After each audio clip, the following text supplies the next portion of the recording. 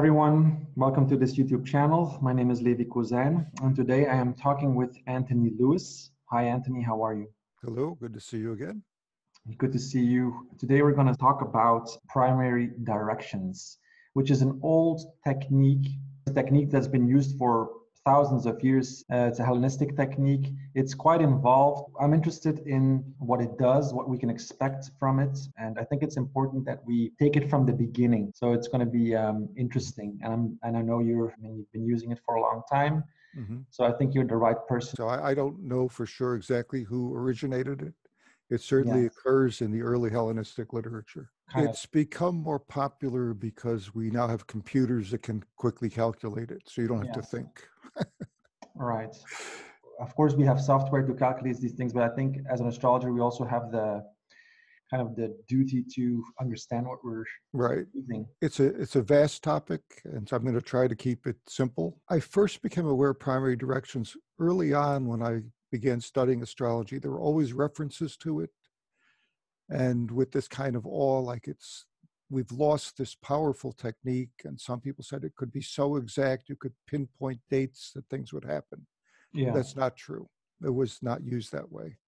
That's a myth that developed because people i think were it was an ancient technique so it had this mystique of being something very powerful and a, a secret that we'd lost hold of and it was hard to calculate I mean, it really isn't that hard to calculate. Um, I understand that in the last few decades, people got more and more interested um, in using it after it had been maybe um, lost, or not really lost, but maybe less in the public eye.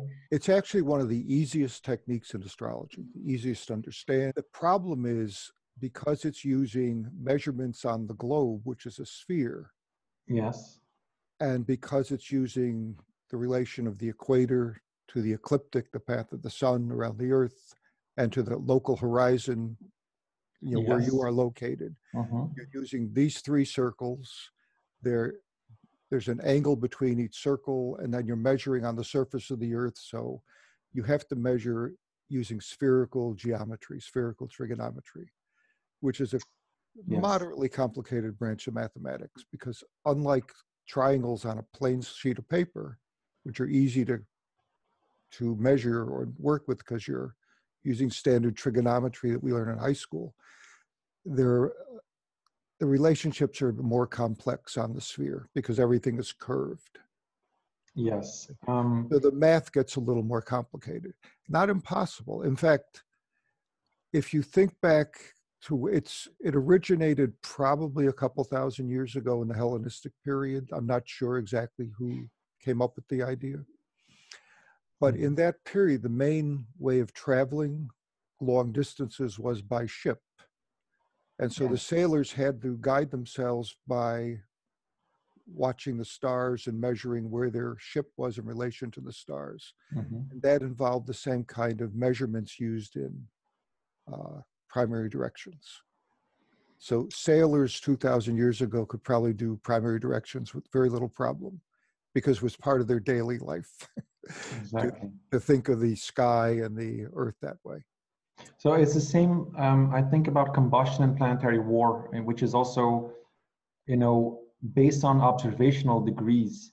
I mean, mm-hmm. it's you know, it's um, it's not on based on ecliptic um, degrees. So, right. when, for example, planetary war is when two planets are within one degree, but it's not on in ecliptic um, degrees. In ecliptic longitude, it means you know projected on onto the prime vertical right. which is a part of your local space right and so it, right. that's also the reason why combustion was calculated um, just simply wrongly or just it's much mm-hmm. easier to look at the ecliptic um, degrees yeah doesn't mean that you know the planets is really um, no early astrology is very observational they actually looked at the sky and so nowadays a lot of astrologers have no idea what's going on in the sky. They just look yes. at their charts. Yes. So, but the basic idea to go back in the literature, I think the earliest references are the early Hellenistic writers like Dorotheus, who's first century, and Ptolemy, who's second century. Yes. Mm-hmm. Where it came from before that, I don't know. Uh, the idea was the, the Greeks probably inherited the the zodiac from the Babylonians or had a role in, yeah. hmm in in conceptualizing it. They certainly mathematized it. They made it a very mathematical system with precise mathematical relationships. hmm And they also, you know, we call Hellenistic astrology horoscopic astrology, meaning Mhm. it's the astrology of the ascendant. The ascending degree is the most essential point. And the idea is that's where anything that exists comes into being. hmm So it's very important to watch the ascendant of the chart and what's passing over the ascendant. Because whatever passes over the ascendant comes into being in your life or in the world. So that's the basic idea. So, what Dorotheus did, he said that when you're born, there's a certain degree on the horizon of the zodiac. That's your ascendant degree. And in the hours after birth, the sky appears as the earth as the earth rotates the sky appears to turn in this clockwise direction if you're hmm. looking at the chart. And so things that are below the horizon will slowly rise to the horizon. And whenever one of those points below the horizon comes to the ascendant the horizon then that will manifest in your life because it symbolizes birth. It symbolizes a new dawn the sunrise or the emergence of a new being or event in your life. hmm So that's the basic idea that Dorotheus had. Is it possible to show that? The earth is turning this way, right? It's going from west to east. Mhm. And this line in the middle is the is the uh, equator. Yes. Okay. And the equator, as you can see, is tipped with respect to the sun hmm so that there's an angle of about 23 and a half degrees between where the sun is and where the equator is pointing. Yeah, which is creating the seasons. Right. Yeah. But and we call that the ecliptic, the, the orbit of the Earth around the sun and the orbit of the sun around the Earth, depending on your point of view, is the ecliptic because Mhm. eclipses occur on that circle. Yes. So the Earth is going around the sun, but the equator is always angled like this with respect to the sun. Yes. hmm And let's say this is the east. So as the Earth turns, whatever you see in the east is rising for you. But it looks Mhm. like the sky is turning, you're not aware the Earth is turning. So whatever comes to this line here, this circle, is going to appear to rise. And when a star or planet gets there, then whatever it symbolizes comes into your life. You know, there's a a program called Stellarium. Okay, so this is uh, set for my location. So currently, the sun is the sun rose back here. I'm facing south because the ancient astrologers face south. East is Oh. to the left, west is to the right, and there's two circles here. Well, as I face south, the line right down the middle is the meridian. That's the MC. Hmm So when the sun gets to this line, it's that's noon at your location. hmm And then there's two circles. This is the path of the sun. As you can see, the sun is rising and will set on this path. That's the ecliptic, the orbit of the earth or the orbit of the sun around the earth from the geocentric point of view. This other line is the equator. So you can see they're, they don't overlap and they're tilted with respect to one another 23 and a half degrees roughly. Hmm And this is where the equator crosses the ecliptic is the beginning of Libra here. Those are the Yes. equinoctial points.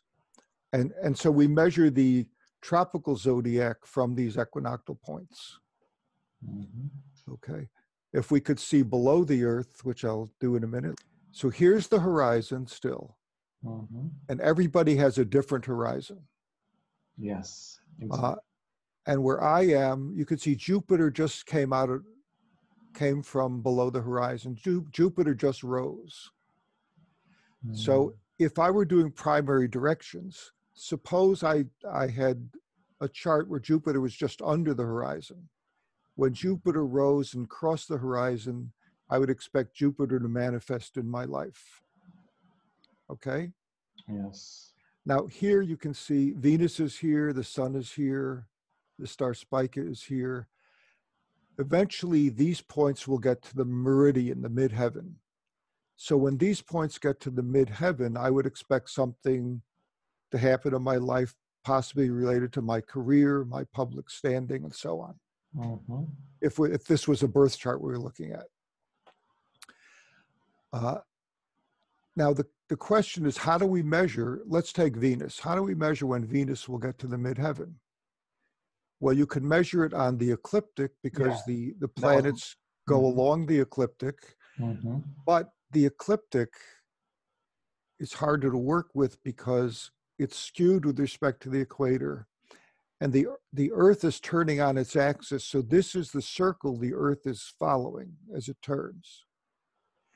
So the convention is we take the equator, this line here, and the North and South Pole are the center of this circle, the blue circle, and divide that into degrees. So the 360 degrees.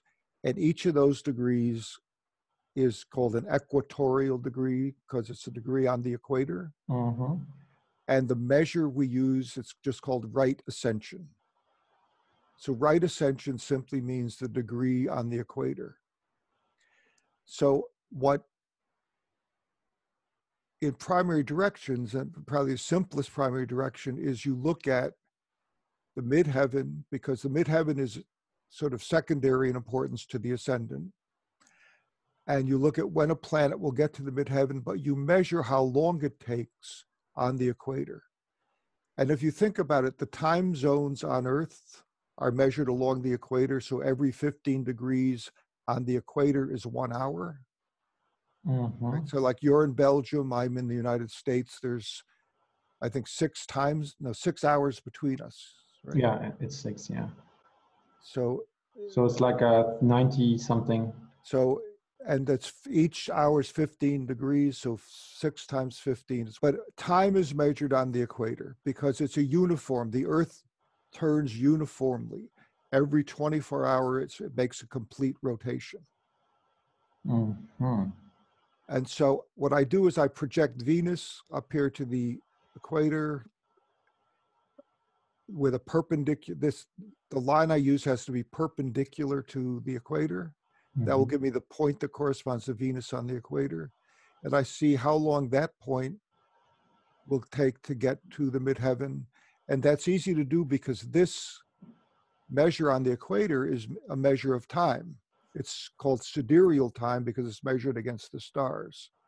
So every 24 hours of sidereal time, the Earth makes a complete rotation. And and so say, I don't know, I have no idea how long this is. Let's say this is two hours. I'm making that up. Mhm. Then I know that in two hours, Venus will get to the midheaven. And each hour is 15 degrees, so that's 30 degrees. And then the Greeks use this measure. A degree on the equator is a year of life.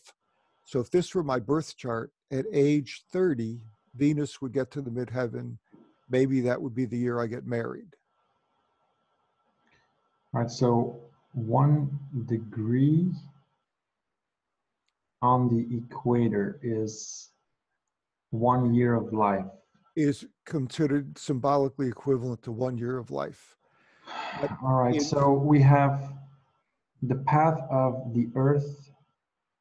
I mean, the Earth spinning around its axis. And then we have the ecliptic, which is the path of the sun, and Right. the path The that ecliptic- the planets uh, travel along. Then we look at, you know, where these planets are on the ecliptic, and then we project that those onto the equator. Right, because But- the, Mhm. the projection onto the equator is called right ascension. And the projection is called right ascension. Yes. because the degrees on the equator are in right ascension. This is only for Mhm. um, directions to the midheaven because the midheaven is the noon point. At local noon, the sun is exactly here on the midheaven.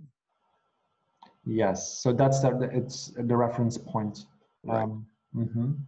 Right. Mm-hmm. And the, uh, the most visible point, so that would relate to something really Right. becoming manifest in life. Right. Now, the other measure is called oblique ascension. And what that refers to, uh, let's take Jupiter again. And Mhm, let's assume that Jupiter really is on the horizon here. mhm, Uh, it's a little above it, but for the sake of argument, let's say Jupiter has just risen, it's on the horizon. Well, the right ascension of Jupiter, we draw a perpendicular line, would be right here. You see that? mhm. But oblique ascension simply means what degree of the equator is rising at the same time that Jupiter rises. mhm. So So look at is- it, yeah. mhm. this is what rises at the same time as Jupiter. That's its oblique ascension. It's the point on the horizon that's rising with Jupiter, on the equator that's rising with Jupiter. Mhm. And the right angle to the equator is called the right ascension because it's a right angle, right? And so, what is the difference between the two in terms of um, practical use? Okay, so the difference is if I want a primary direction to the midheaven, the meridian, I'm going to use right ascension because of this is a right angle or we're the right angle. Yes. If Mhm. I want to know when something comes to the ascendant, I have to know when it rises, not when it's going to reach the midheaven. Yes, So I'm going to use right ascension, this this degree over here, Yes, it's very clear. Yeah. mhm. so that in primary directions, if you're measuring by right ascension, the right angle to the equator, you're measuring to the midheaven. But if you want to measure to the horizon, you have to use oblique ascension because you want to know what what point right on the equator rises at the same time as the planet you're concerned about. And how do they actually, mm, um, because it's an observational thing, um, how do they do that? Uh, Ah, what, what is, yeah. glad you asked. I just Sure. put the constellations in, uh, but let's stick with here's Jupiter. Cool. right? It's just risen. So its right ascension, I draw a line that makes a right angle up to the equator. That's the right ascension. And if I want to know when it will get to the midheaven, I just time when will this point get to this point? And that's Mm. just the number of degrees on the equator tells me the time. Yeah, and so one degree per year. And that, that you also Right. probably have to, I mean, you have to explain also why that is. Right, but the equator acts like a clock. Each 15 degrees on the equator is one time zone. So if I know 15 degrees have passed, I know one hour has passed Yes. in real time. Mhm. And in symbolic time, 15 degrees would be 15 years. So there's, real time and there's symbolic time. Mhm. So right ascension, you draw the line that makes a right angle with the uh, equator. That's the right ascension of the planet. And you use that to see when it will get to the midheaven. How far it is from the midheaven. And In that, degree, right. mhm. So say that's say that's 40 degrees. I'm making up a number. Let's say 60 degrees, easy Yeah. to work with. Yeah. mhm. So 60 degrees, uh, each degree would be a year of life. So about age 60, this guy's going to have a great year publicly. it's on his midheaven, unless Jupiter's really afflicted. yeah. Now, but Jupiter is not, there are two measures for Jupiter. There's actually three. There's Jupiter on the ecliptic is the common, when you look at a chart, you see Jupiter on the ecliptic. But mhm. we measure time on the equator. That's the key here. Why is that? Because the Earth turns one complete rotation every 24 hours. And the equator is exactly in the middle of the globe, so that as it turns, it's a very even movement. Every hour, exactly 15 degrees turns uh, on the equator. It's like a clock. So the other measure for Jupiter here was the right ascension. The, the oblique ascension is this point over here, the point where when Jupiter rises, the point that's also rising on the equator. That's the oblique ascension. Yes. And so measures to see when something gets the ascendant, you have to know when it will rise to the ascendant. Well, it rises in oblique ascension. Mhm. And that would be um, showing something coming to the per in the person's life, like for Something example, a child. Symbolically related to the ascendant. Okay. Body, the motivation, whatever the ascendant Mm-hmm. means. The third measure is just on the ecliptic. But see, the Um, tricky mathematics is switching back from the ecliptic to the equator and the two measures on the equator, right ascension and oblique ascension. But basically, you're talking about something on the ecliptic, right ascension on the equator, and then the Oblique ascension on oblique the ascension, which is where the horizon, yeah. meets the equator. Mhm. Um, So- and how do they actually measure these things? Um, you can measure it observationally, like if you had a sextant, and then there's the the mathematics. You can calculate it if you know the, the, the proper parameters. As the Earth moves, everything here will appear to rise. Now, what the ancients did is they used the zodiac. This is the sidereal zodiac, obviously. Here's Virgo is on the midheaven now. Uh, and what do we have rising down here? Leo's already descending. Virgo, Leo's got to be over here, right? The constellation. Yes. Mhm. What they noticed was that some constellations took longer to rise than others. So there are signs of long ascension and signs of short ascension. Mhm. Some signs rise very rapidly, some signs take a long time to rise. And then they actually measured how long a sign of the zodiac took to rise in their location and made tables. So the ascension Yeah. times are for 30 degree segments. I don't know how long Libra took to rise, takes to rise here. It's a sign of long ascension. So Mhm. after Virgo, Libra would rise, and Libra probably took a long time to rise. Uh, Maybe it took 40 minutes to rise. Why is that? Why is there different ascension times? Okay, because we're looking at it from our point on Earth, and we're not on the equator where everything would rise more evenly. We have this sort of skewed view. It's our from our point of view. Yes. So from where I stand, this is my location. Libra is going to take a long time to rise. Nor, if it were a perfect system, every sign would rise in two hours, right? Because there's Yes. 12 signs, 24 hours in a day. Mhm.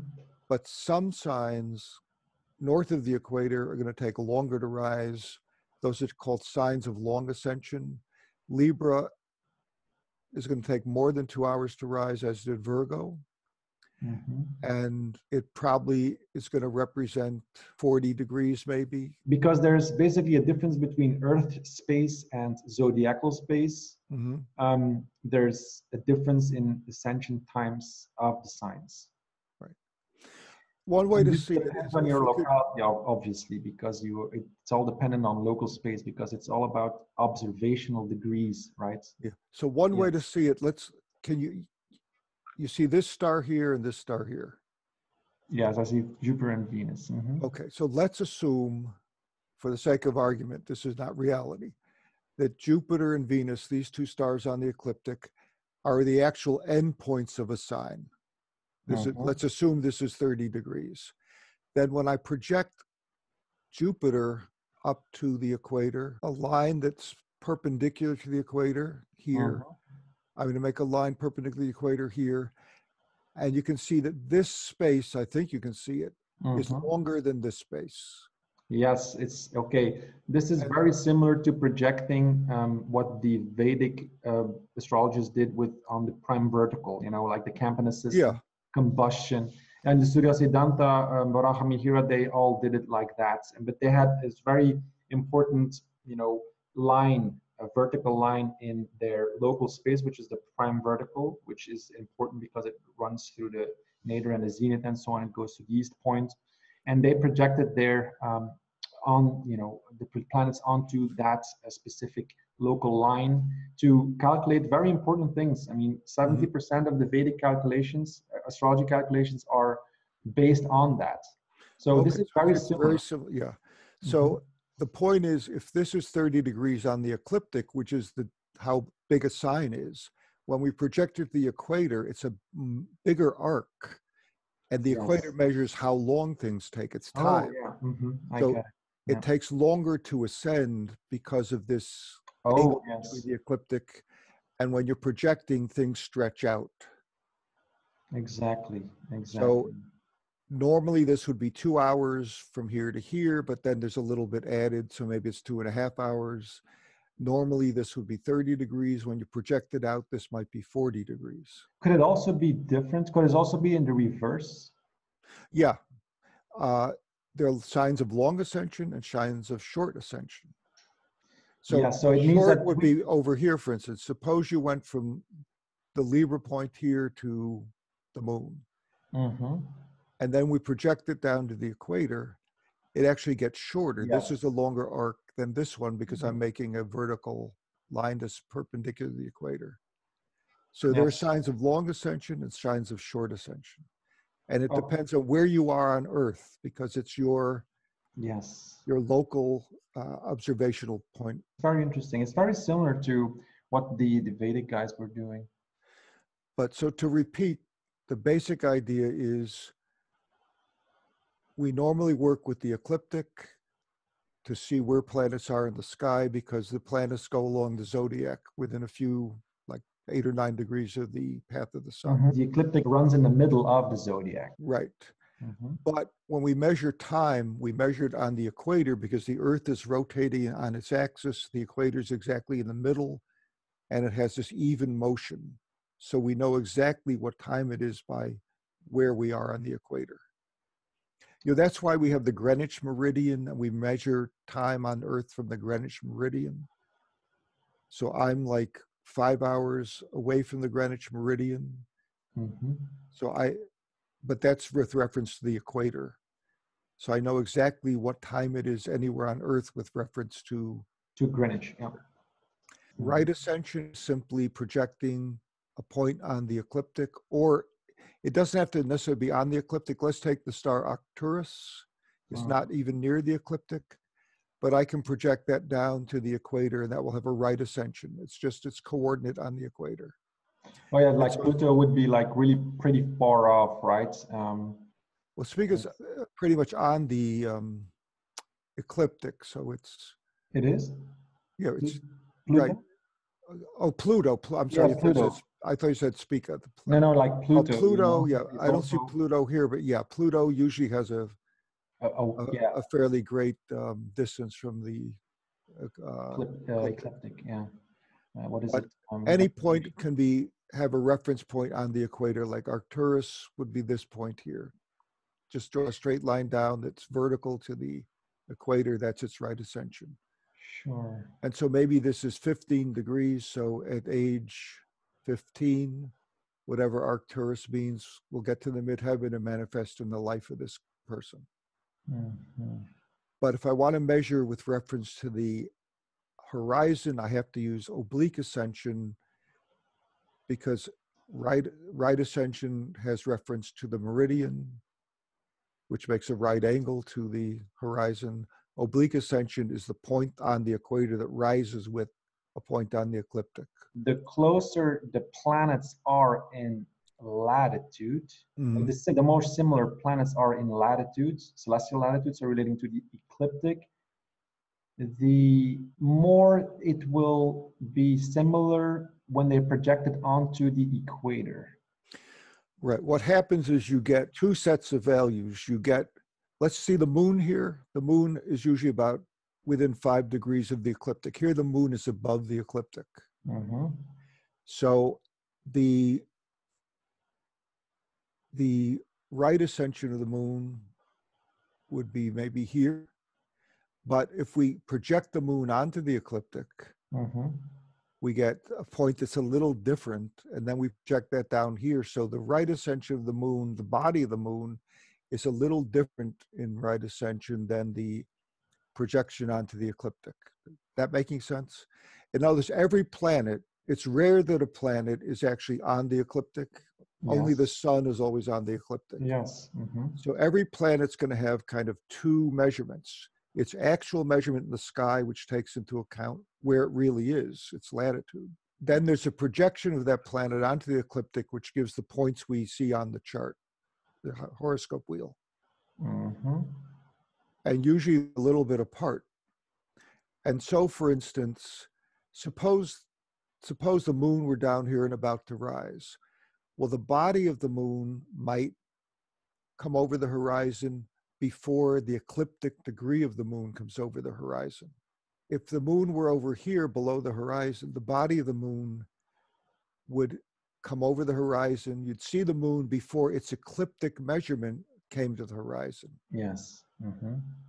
So you can get two sets of. Um, this is what makes primary directions a little complicated because some people use just the ecliptic projection and some people use the actual body of the planet. Why would there be a difference? They're, they're basically coordinate systems. Well, here, let's take, for instance, here's Arcturus, okay? So if we projected Arcturus down to the ecliptic, it has to be a vertical line that makes a right angle with the ecliptic. We'd probably get to right here. You see that? Mm-hmm. But the body of Arcturus is, if this were the horizon, would probably come up over the horizon after this point here because the angle it makes with the ecliptic. Let me give you another example. Suppose you are driving your car and uh, you're going up a hill. And I want to know when will you get to the top of the hill? Mm-hmm. So I'm on the other side of the hill. I'm going to see the top of your car 1st Mm-hmm. Even though if I'd measured where your car was on the road, I'd probably measure where the tires hit the road. Mm-hmm. And where the tires hit the road would be below the top of the car. Mm-hmm. So the top of the car is what I see first. But if I only looked at the measure along the road, like where's this car on this road? It's I'm Mhm. measuring on the road itself, Mm-hmm. where the tires hit the road. The point where the tire hits the road would be the last thing I would see to come over the hill. Yes, that's a very good analogy. Yeah. So that's the basic idea. There's Mhm. where the planet really is and where its projection is on the ecliptic. yes, There's usually some distance between them, and one or the other will come over the hill first. Yes, or another analogy that occurs to me suppose you're going up in an elevator to the fourth floor.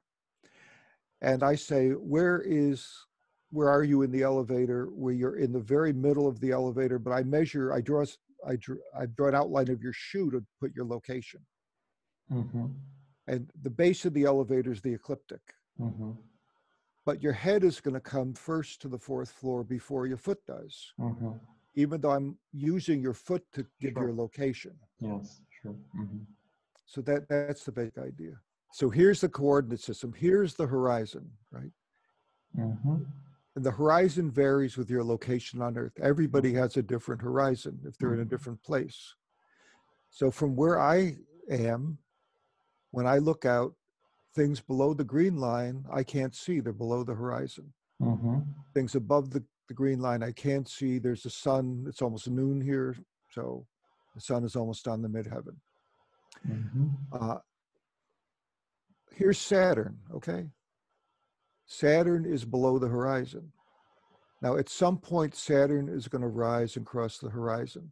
Mm-hmm. So the primary direction of Saturn to the ascendant is this line here on the ecliptic. But if I want to measure the time, I have to figure out what time Saturn will actually get to the horizon. What time will Saturn rise? Mm-hmm. And I do that by projecting to the equator. So I draw a vertical line from Saturn to the equator. When will Saturn rise? Well, the ascendant is here. E stands for east here. The Mhm. east point of the equator on my horizon is right there.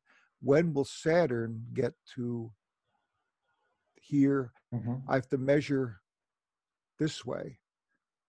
Okay. Mhm. I have to see when Saturn itself will get to here and measure this arc. And that will tell me the age at which Saturn will manifest. And as you can see, this part of the zodiac from Libra, this is going to go down to uh, Aries on the other side. These signs are going to take longer to rise than these signs over here because the time is measured on the equator. Well, if you start here at Libra and you can see if Libra is this distance here, say from here to here to Venus is Libra, then mm-hmm. this is a bigger arc up here on the equator projecting. But we're I think we're going over too many concepts at once. It's it's a very simple idea.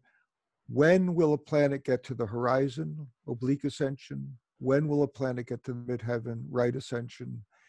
we take those measures on the equator, convert them to years, and we have the event. The problem occurs when you're working with two points in between. So say here's Jupiter and here's Venus. When will Jupiter get to Venus? Well, that's a little more difficult because you can't really use oblique ascension, that's just for when things rise. You can't really use Mhm. right ascension, that's for when things get to the midheaven. Mhm. And these are intermediate. So what Ptolemy did, he said, was, well, each planet has a certain amount of time it takes to get from the horizon to the midheaven. Yes, yes, makes Uh, sense. Mhm. And so let's just do it proportionately. Suppose Venus took takes six hours to get from the horizon to the midheaven. So every two hours is a third of the way. Mhm. And suppose Jupiter takes nine hours. I'm making these numbers up. So Mhm. every three hours it gets a third of the way. Mhm. So when Jupiter has gone three hours, it's equivalent to when Ju- when Venus has gone two hours. Mhm. So if I can figure out how long will it take Jupiter to get to this point where Venus is in its own orbit path around the, the Earth, uh, Yes, and yes. use a proportion. This is called the Ptolemy's proportional method. Mhm. Then then I'll call that a conjunction of Jupiter to Venus. Hmm Yes, because yeah, that would be interesting to see when these points conjunct to certain um, Right. yeah, planets. Or to use a, the road analogy, suppose I have an old car that goes slow, so it takes me a long time to get from point A to point B. Mhm. And you have a, a brand new car that goes fast. Well, you're gonna you're gonna cover the same distance in much less time. Yes. So Yes. if I want to know when we'll be at the same point, it will take me longer to get to the same point than it did you. But if it took me five hours and you three hours, though we would be conjunct if I've traveled five hours and you've traveled three hours. Mhm. And we would Sure. call that a conjunction. Okay, so that's Ptolemy's idea.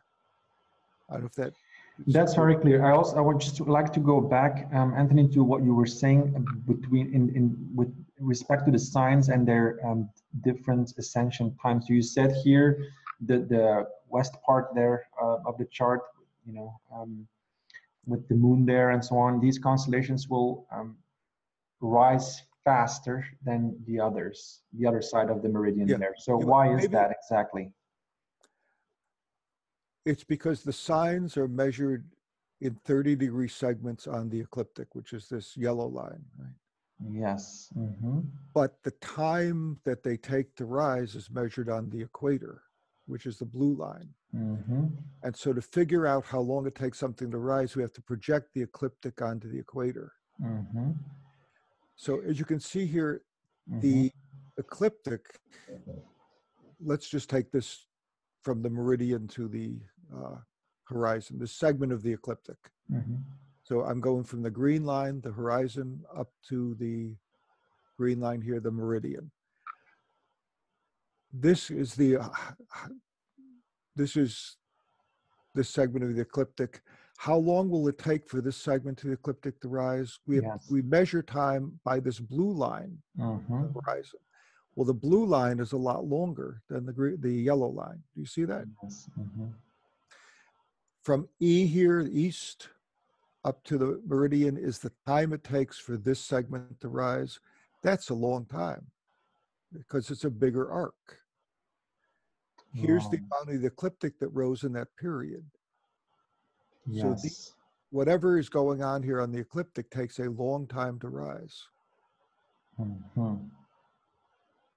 But if we look Mhm. over here, say, from Libra down to the horizon, Mhm. that's a big segment of the ecliptic. Mhm. But how much time does it Right. take? It takes this little segment to rise. It- All right. The blue is the time, the amount of time. The yellow is what's actually rising. So this rises really fast, this segment, compared to this segment over here, which rises a lot more s- slowly. So these are called long ascension, they take a long time. Short ascension, they take a short time. The equator and the ecliptic are fixed circles in the sky. What changes is the horizon. So where you are on Earth makes Yes. a big difference because if the horizon's down here, say, or if you're in the southern hemisphere, it's going to reverse things. So I just switched us to Africa, Mhm. and as you can see, uh, the sky doesn't look at all f- familiar to me. Mhm. Uh, well, actually, no. Here's Virgo down here now. Okay, it's interesting because we we moved across the ocean. Remember, at my location, Virgo was on the midheaven. Mhm. Now Virgo has just set. Okay, Mhm. so I was at sunrise. Now we're at sunset. Uh, trying to make this a little more even, and here's Libra, the crossing of the ecliptic and the equator. So as you can see, these circles stay fixed. They're they're they're fixed in space. What Yes. changed is the horizon, Mm, yes, exactly. and And but still mhm. things are so, so yeah. So in respect to the rising um, um, right. times, So here's Pisces and Aries. This part of the sky is constellations are rising, Mhm. and um, but if you look at if we take Aries down to the horizon here in Africa, this is Mhm. on the ecliptic. This is a fairly long stretch compared with the time measured on the equator. So these are sh- signs of short Yes. ascension because they rise quickly. right, right. Right. So mhm. So if you're looking over here and you see, you know, the fish in the sky, the constellation, that's going to rise very quickly, less than two hours. All right. So if you want to know your ascension times, you have to look them up because it was Right. going to be very particular and dependent upon your obviously upon your locality. on Well, what what the ancients did is they very carefully observed the heavens from their location, which was probably Alexandria, Egypt, and that area, Mhm. and they made tables like we have ephemeris, tables of ascension times. So they knew for their location how long each sign would take to rise, and they used those tables to figure out uh, primary directions when they would manifest. Let's look at the globe again. Can Sure. you see it? So it's turning from west to east. Here's the equator, and the, the sun is out here. So as you can see, if my hand is the sun, as the earth turns, the path of the sun will, Cross the equator. So that's the reason cross the- equator at Aries and Libra, zero Aries and Libra. Libra equinoxes. Yes, that was a very good move. Wow. Okay. Yeah. But we measure time on the equator because if we put it this way, here's the North Pole, here's the Mhm. South Pole. And as the Earth spins, this circle spins exactly evenly. It's right in the middle. So every 15 degrees is an hour on this circle, on the equator. And that's Mhm. why we use the Greenwich Meridian and distance from the Greenwich Meridian measured along the equator to set the time zones. Why do you use the mer- the Greenwich mer- meridian? That's a convention. That's a convention, right? Yes. Yeah, I think exactly. in ancient India it was Yamakoti or something. Uh, Yeah, Right. Yeah. right. Mhm. Um, but that's just a convention because the British sailed a lot and they set, they got to choose in modern times. But, but the point is, if you just keep the Earth vertical, as the Earth turns the equator, it's in kind of invariant. It's always, it moves at this very even rate, one rotation every 24 hours. Mhm. 15 degrees every hour. And so we can tell time if we know where the equator is with reference to the stars. We know what time it is. 24 hours with reference to the stars is one rotation of the Earth. And so we always measure time on the equator. I'm here at the Eastern United States, Mhm. and you're here in Belgium. Mhm. So there's Yes. six six hours between us. If I knew your exact longitude, I'd subtract it from mine. Do you know your longitude? Three east, forty-eight. Three east, 48. Mhm. Okay, so let's call that four east. And I'm 73 west. So what is 77 divided by 15? Yeah, a little more than five. Right, so we're five time zones apart. But if I know your time, wherever you're over here, and then I just go along the equator eastward 73 degrees, I'm going to get to where I am. Okay. So yes. time is measured on the equator. That's the basic idea. Time is measured on the equator. Yes. I was thinking if you put the Earth like that, you know, if it, the Earth loses its tilt, then there there wouldn't be seasons. That's the whole point, right? Because Right, right. the day the sunrise would Yeah, every day exactly the same thing right. everywhere. But it was an observational science. It is an observational science. It is, yes. But if Mhm. they wanted to know when things happen, they measured along the equator. And we measure time because you know, the, the North Pole to the South Pole is is what the Earth rotates on, and the, the the Earth- only circle that moves evenly, great circle, is the equator. yes. If we used a different circle, we'd have this the skew, right? Skew, yes. Mhm. some places the hours would be longer than others. Exactly. Mhm. And in fact, when you do planetary hours, that's what happens.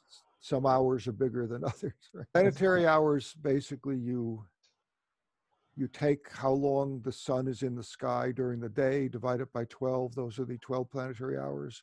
But they may have different lengths than the night hours. Like if the sun is 10 hours above the horizon, then it must be 14 hours below the horizon. Mhm. And dividing 10 by 12 gives you a smaller number than dividing 14 by 12.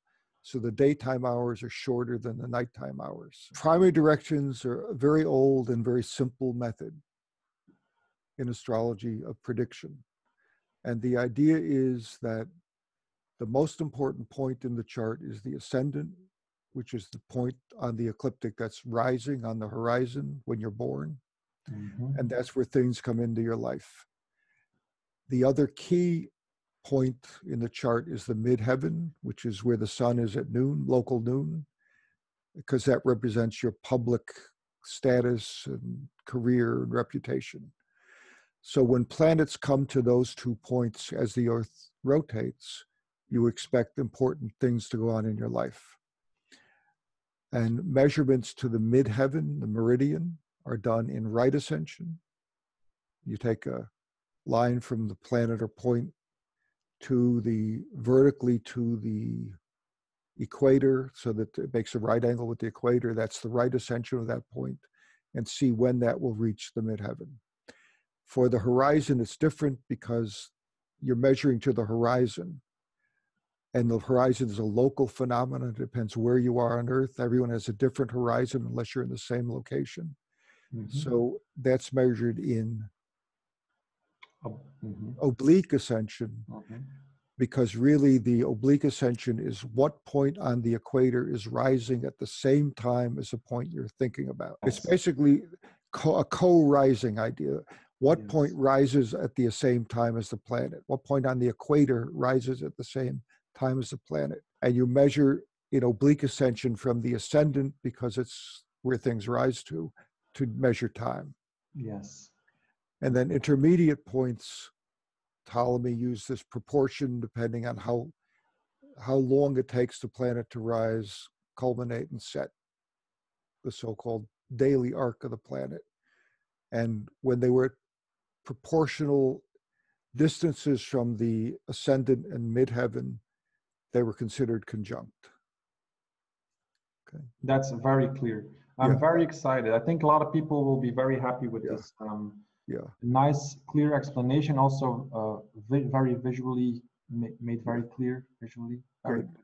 Yeah. And so the ideas I think are pretty clear cut, relatively simple, and very visual because they're based on observation. When you try to do the math, it gets a little more complicated because you have to work with spherical geometry instead of plane geometry. And the, the basic idea is the ascendant is key.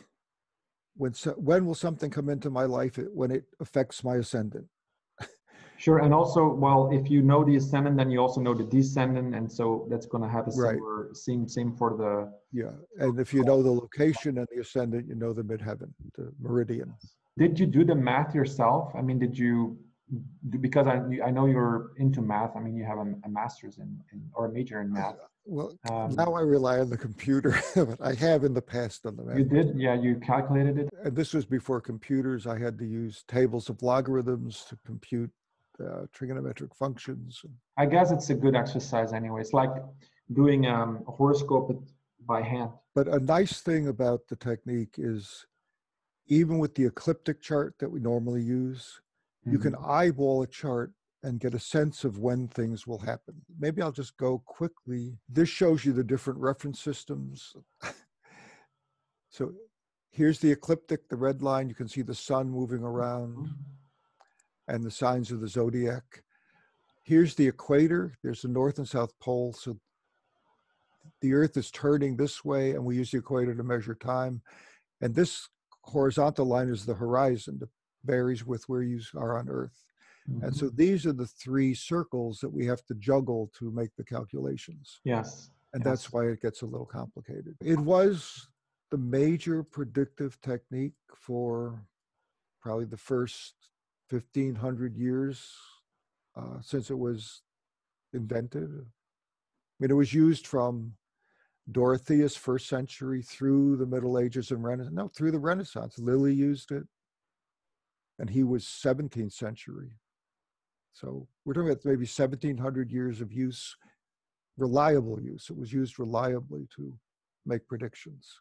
Say Jupiter is in my first house, five degrees inside my below my ascendant. So I look at the sky and I say, I can see when Jupiter rises. I can just see it. Well, how long did that take? That's when it's going to manifest in my life.